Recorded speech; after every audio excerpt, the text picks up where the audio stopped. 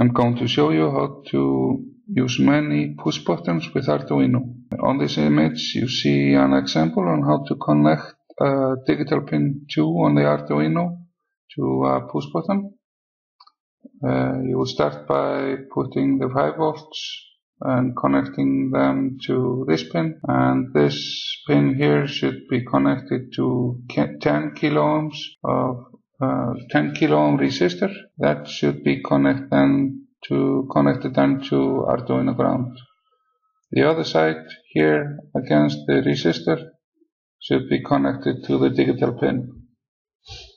Um, this one you don't think, need to think about. This is how I have already connected the pins, the buttons. This button here is connected to the digital pin 6 and the next one is connected to digital pin 7. This one to digital pin 8, 9 and 10.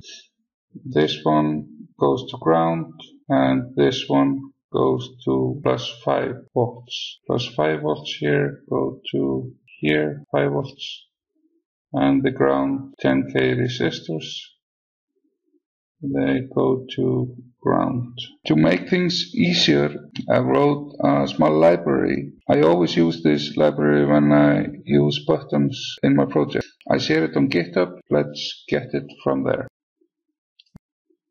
the location of the library. You can get it from here.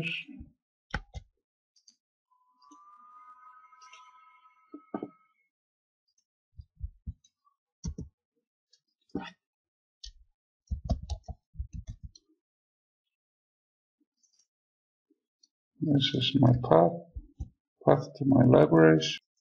Let's go to the GitHub. It's github.com. To push buttons. You, you just download it to libraries.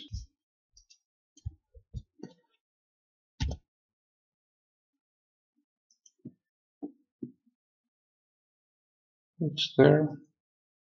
Extract it here. Delete the zip rename the folder, remove the master. Now we can start the Arduino again. Examples, push buttons, on, off, example. And here's the example.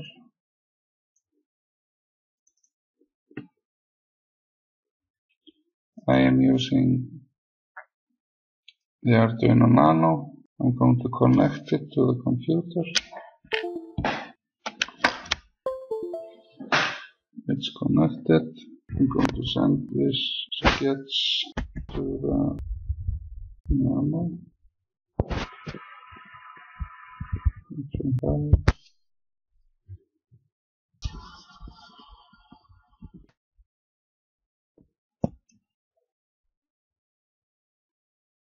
Okay, the sketch is running. And when I press this one, nothing happens, and this one turns the lights off, light off. So the buttons are working. It's very easy to use. You only need to, there's a description how you connect it. Uh, but this is how you use it. You start by including the library. Here in this array, you tell the library which pins are connected to buttons. So this would be button. So this would be button one. Now the library knows that they are connected to six and seven. This is the let uh, begin state. This is so you can see what is happening. So you we see what's happening around pressing the buttons. And you see the state on which buttons I'm pressing. This is the whole program. It's very easy to use. I use it in all my projects now. I have connected three more buttons, so I'm gonna add them. And 10 and these buttons are here, here, and I'm going to keep on using the LED just to show you. Uh, as you see, there's nothing working when I press here just the first two Now I'm gonna add the last um, five and now I've connected more buttons. That's all you need to do.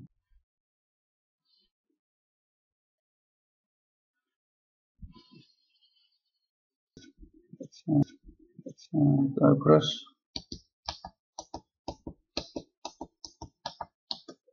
so here you can see what's happening